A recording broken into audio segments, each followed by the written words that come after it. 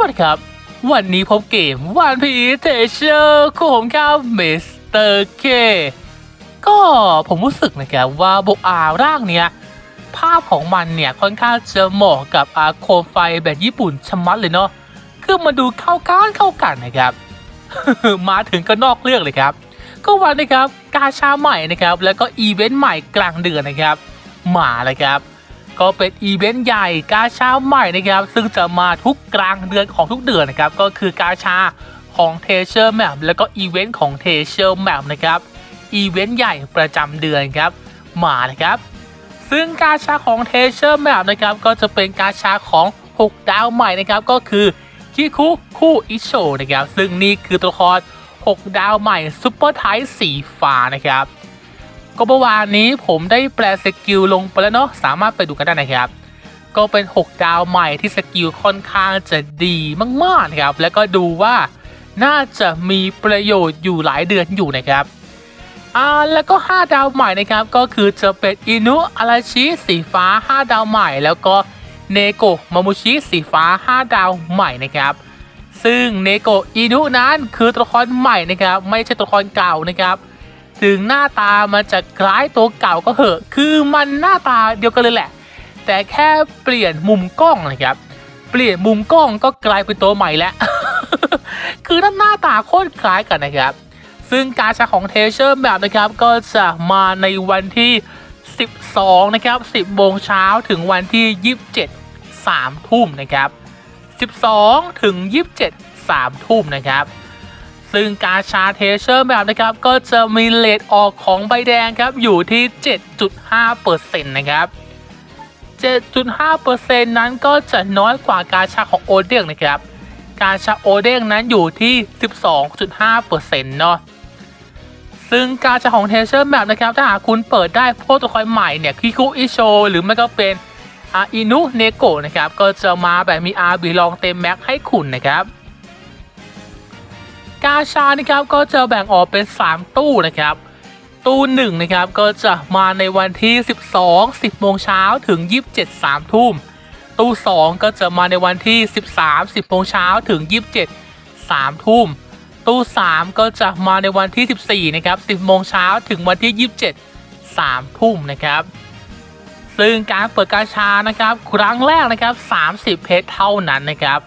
และครั้งที่ 2 4 6 8 9 11 13 นะครับ ก็จะได้ใบแดงหรือตัวละครที่เพิ่มเลทออก 1 ตัวนะครับ แล้วเปิดครั้งที่ 3 ครับ ครั้งที่ 3 นะครับ ใบที่ 11 เน้นย้ำนะครับ ครั้งที่ 3 ใบที่ 11 จะมีเลทออกของใบแดงครับ อยู่ที่ 77%นะครับ 77%อัตราการออกของใบแดง ซึ่งถามว่าดีไหมอ่าผมอยากจะให้ ตัดเรื่องเปอร์เซ็นต์ออกไปก่อน เพราะเห็นเปอร์เซ็นต์เยอะๆอย่างเงี้ย อาจจะคิดว่าโอ้โห77%มันเยอะมากๆครับ แต่ให้คุณตั้งสตินะครับ77%เซ็นต์เฉพาะใบที่11เท่านั้นนะครับ ใบที่1ถึง10เนี่ยเลทปกติก็คือ7.5%มันจะเพิ่มเลท77%เนี่ย เฉพาะใบที่ 11 เท่านั้นนะครับ และถามว่ามันดีไหม ผมมองว่าธรรมดา ถามว่าทำไม เพราะปกติกาชาอะไรอย่างเงี้ย ครั้งที่ 3 หรือ 4 เนี่ย มันจะการันตีใบแดง 100%อยู่แล้ว แต่การที่ว่ามันไม่การันตี 100%แต่มันเพิ่มเป็น 77%อันเนี้ยมันหลอก มันเป็นกาชาชวนเชื่อชวนหลอกนะครับ คือ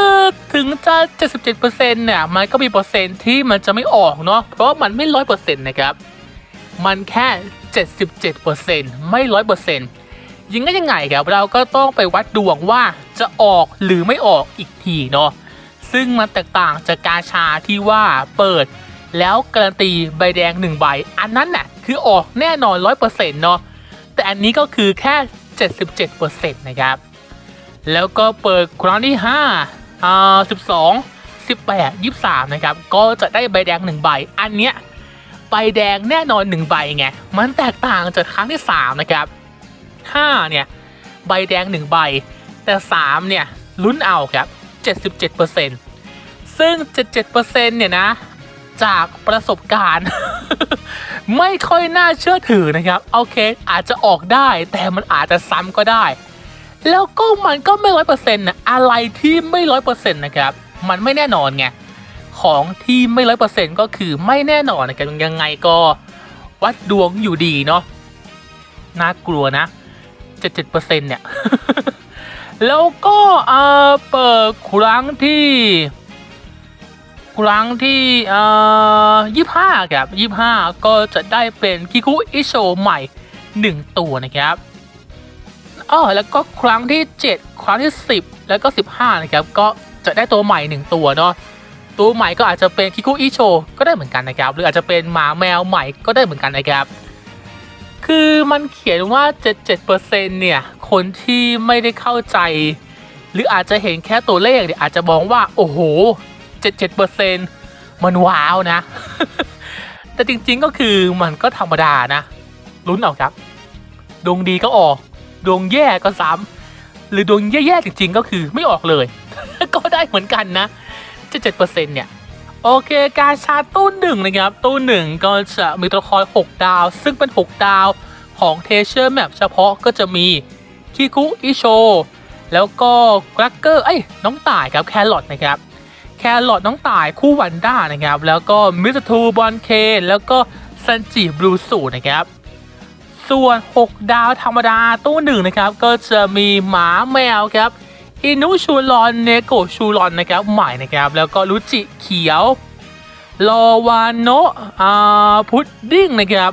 โซโลแอนลูฟี่วานโนะนะครับ แล้วก็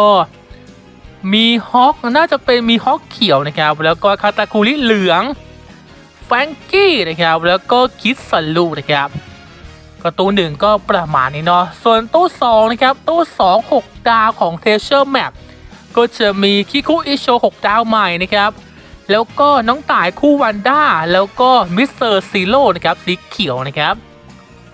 ส่วน 6 ดาวธรรมดานะครับ ก็จะมีโอเด้งครับโคสึกิโอเด้งเหลืองนะครับใหม่นะครับก็มีนะ แล้วก็จะเป็นโรบินคู่จินเบ โดฟามิงโก super class นะครับ แล้วก็อ่าเพโรน่าวันฮาโลวีนนะครับ มาเจลแลนฟ้า super type นะครับ แล้วก็จะเป็นอืมโฮคิน แล้วก็ผมแดงแชงคูสน่าจะเป็นแชงคูสสีม่วงนะครับ แล้วก็โซโลสีม่วง น้องต่ายนะครับ 6 ดาวนะครับ อินุอาราชินะครับ เอ้ยอาคาอินุสิ แล้วก็บากี้นะครับ โอ้กาชาตู้2ผมมองว่ามันดีตรงที่ว่ามันมีบาร์กี้นะ ถ้าหาคนที่หาบาร์กี้อยู่เนี่ย ตู้2ถือว่าน่าสนใจนะครับมีบาร์กี้ด้วย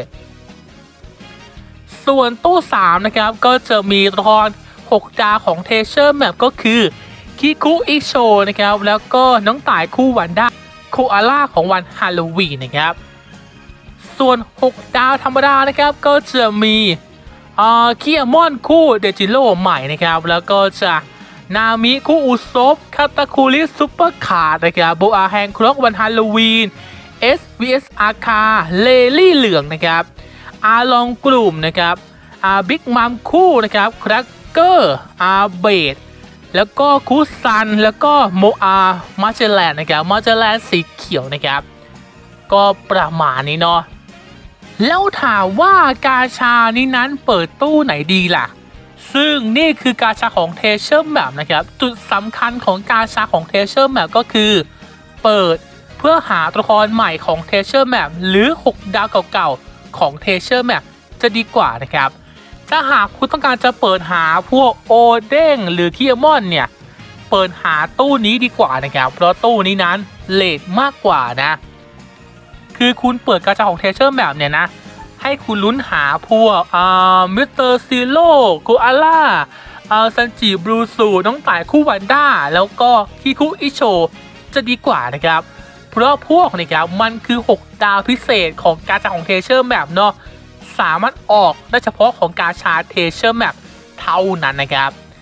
แล้วก็ตู้ที่น่าเปิดเหรอ ผมมองว่านะครับถ้าหากคุณต้องการจะหาตัวใหม่ด้วยและลุ้นหา 6 ดาวของ Treasure Map ด้วยก็แนะนำ2หรือ 3 เพราะ 2 เป็นของโอเด้ง3 เป็นของคินเอมอนคู่เนาะอันนี้ก็พอได้ลุ้นอยู่นะครับ แต่ถ้าหากครับคุณต้องการจะหวังหาซันจิซันจิบลูสูเนี่ยหรือมิสเตอร์ทูบอนเคลย์นะครับเปิดตู้หนึ่งเท่านั้นนะครับ และถามว่า 6 ดาวของ Treasure Map เนี่ย ถ้าหากจะลุ้นหาหาตู้ไหนดี ผมมองว่าตู้หนึ่งครับ เพราะตู้หนึ่งเนี่ยนะ น้องต่ายวันด้ามิสเตอร์ทูเนี่ยโคตรเก่งครับมิสเตอร์ทูเนี่ยผมแนะนำนะครับว่ามีเนี่ยโคตรแจ่มเลยนะ แล้วก็มีคิคุอิโชด้วยเนาะมีซันจิบลูสูนะครับ ตู้หนึ่งเนี่ยถือว่าน่าสนใจนะครับสำหรับ 6 ดาวของ Treasure Map เฉพาะนะ ก็ประมาณนี้เนาะ กาชาของ Treasure Map นะครับถ้าคุณเปิดก็ขอให้โชคดีนะครับ ซึ่งผมว่าผมก็จะเปิดนะครับ มันน่าลองอะนะ คือคิคุอิโชนะ มันเป็นตัวละครที่ผมมองว่ามันได้ใช้งานอยู่นะครับ แล้วก็น่าได้นะครับ น่าสะสมนะครับ เพราะรูปภาพก็สวย สกิลก็ดีเนาะผมเปิดนะครับ ส่วนกาชาก็จบไปแล้วเนาะแล้วก็อีเวนต์ครับอีเวนต์ของ Treasure Map ครับซึ่งรอบนะครับเป็น Treasure Map ของไอ้เจ้าคันจูโร่นะครับคันจูโร่เนาะก็จะมาในวันที่ 16 นะครับ บ่าย 4 โมงเย็นนะครับ เน้นย้ำนะครับ 16 บ่าย 4 โมงเย็นนะครับ จนถึงวันที่ 20 3 ทุ่มนะครับ 16 4โมงถึง 23 ทุ่มนะครับ อีเวนต์มา 4 โมงนะ คันจูโร่นะครับ 5 ดาวใหม่ของ Treasure Map นะครับ สกิลดีไหมสกิลก็คือสามารถลดเกราะได้ 80%ล้าง buff เกราะฟ้าเกราะผ่าครึ่งไม่ตายได้ 4 turn อืม ก็ได้อยู่นะ แล้วก็ถ้าหากกัปตันเป็นแก้วสีแดงก็จะ buff โจมในศัตรูที่ถูกลดเกราะแรงขึ้น ถ้าหากกัปตันเป็นสายหน้ากากก็จะ buff โจมตีสีแรงขึ้นให้กับสีแดงเนาะ อืม ค่อนข้างจะใช้ได้นะครับ ใช้ได้อยู่นะ ไม่น่าเกลียดครับ ไม่น่าเกลียดนะ ส่วนสกิลของในโหมด PVP ก็เป็นทีมสีแดงนะครับ ก็จะเพิ่มโจมตีให้สีแดง เพิ่มเลือดสีแดง แต่จะลดโจมตีศัตรูสีเขียวนะครับ ก็เอาไปจัดทีมเอาไปต่อกรกับพวก ทีมสีเขียวนะครับ ไม้ตายก็จะมีการทำ damage มีการลดความเร็วลดป้องกันศัตรูเนาะก็เป็นสายลดค่าพลังนะครับ ก็ถือว่าไม่น่าเกลียดนะครับก็คันจูโร่ใหม่ของ Treasure Map ก็ถือว่าโอเคอยู่นะ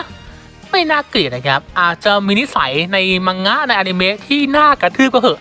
แต่ในเกมเนี่ยก็ถือว่าค่อนข้างจะดูดีอยู่นะ ส่วนตัวละครครับที่คูณคะแนนครับของ Treasure Map รอบนี้ครับมากที่สุดนะครับก็จะเป็นคิคุอิโซนะครับก็จะคูณคะแนนไป 2.5 เท่านะครับเอ้ย2เท่าสิ คูณคะแนน 2 เท่านะครับ ค่าพลังเพิ่มขึ้น 2.5 เท่านะครับ แล้วก็หมาแมวครับ 5 ดาวใหม่นะครับสีฟ้านะครับก็จะคูณคะแนนไป 1.7 เท่านะครับ แล้วก็จะมีโอเด้งครับโอเด้งเหลืองใหม่ คินเอมอนคู่นะครับ ก็จะคูณคะแนนไป 1.4 เท่าด้วย แล้วก็ไอ้เจ้าเปโลนะครับ เปโลซึ่งเป็นตัวละครของ Treasure Map รอบก่อนนะครับ ก็จะคูณคะแนนไป 1.4 เท่า เช่นเดียวกันนะครับ แล้วก็คูณคะแนนไป 1.35 เท่านะครับ 1.35 เท่าเอ่อตัวฟรีเหรอ ตัวฟรีก็จะมีไคโด 5 ดาวนะครับ ซึ่งเป็นตัวละครฟรีของอีเวนท์ที่ผ่านมาเนาะ แล้วก็จะเป็นกลุ่มนินจาตัวฟรีอ่าแล้วก็ช็อปเปอร์ครับช็อปเปอร์ของคิสนะนะครับก็ตัวฟรีนะ นอกนั้นเป็นกาชาทั้งหมดนะครับโดจิคาวาบัสึไลโซ 5 ดาวกาชา หมาแมว ชูรอน 6 ดาวเขียวอ่า6ดาวกาชา แล้วก็พวกลอดดี้บีบีสามทหารเสือวันด้า น้องต่ายก็เป็น ของกาชานะครับ แล้วก็โดฟามิงโก6ดาวบวกสีเขียวนะครับ ซึ่งโดฟี่นั้นต้องเป็น 6 ดาวบวกเท่านั้นนะครับ แต่ผมสงสัยว่าคุสันเหลืองมายังไง อันเนี้ยผมสงสัยนะครับก็เอ็งมายังไง อยู่ๆคุซันเหลืองโผล่มาแบบนี้หรือว่า คิดซึนะหลังจากนี้จะมีคุซันเหลือง 6 ดาวบวกมากันนะมน่าสงสัยนะครับ ขอเดานะ หลังจากจบ Treasure Map เนี่ย คุซันเหลือง 6 ดาวบวกต้องมาแน่นอนนะครับ คือโผล่มาอย่างเงี้ยคือมันแปลกอะทั้งหมดนะครับมันคือตัวละครของภาควาโนใช่ไหม แต่คุซันโผล่มาเฉยเลยอะมันต้องมี 6 ดาวบวกคุซันมาแน่นอนนะครับ หลังจากนี้นะ เองโผล่มาได้โคตรแปลกเลยคุซัน แล้วก็คูณคะแนนไป 1.25 เท่านะครับ ทั้งหมดนี้คือตัวละครฟรีทั้งหมดนะครับ ก็คันจูโร่จ่าทาชิงิควีน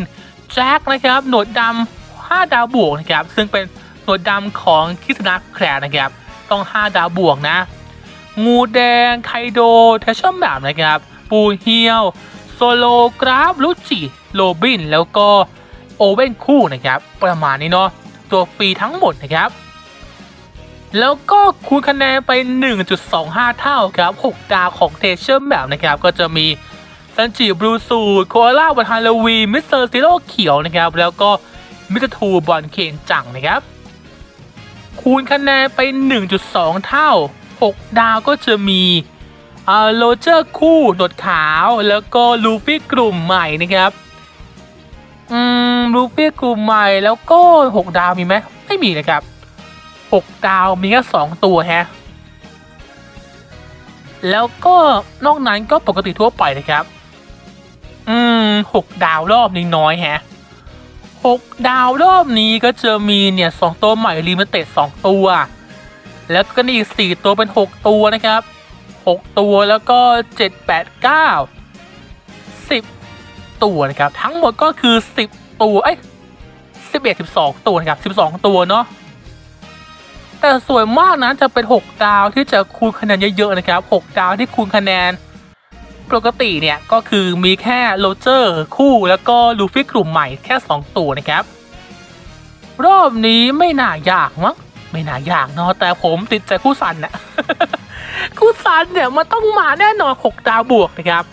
ข่าวสารก็มีประมาณนี้เนาะยังไงเดี๋ยวพวกทงพวกทีม ผมก็จะจัดทีมให้ดูกันอีกทีนะครับ ส่วนเปิดกาชาเนี่ยรอได้เลยครับ ผมเปิดกาชาแน่นอนนะครับ รอรับชมกันได้เลยครับ กดไลค์กดแชร์กดตามเพื่อเป็นกำลังใจให้ผมนะครับดีกันไหมสวัสดีครับ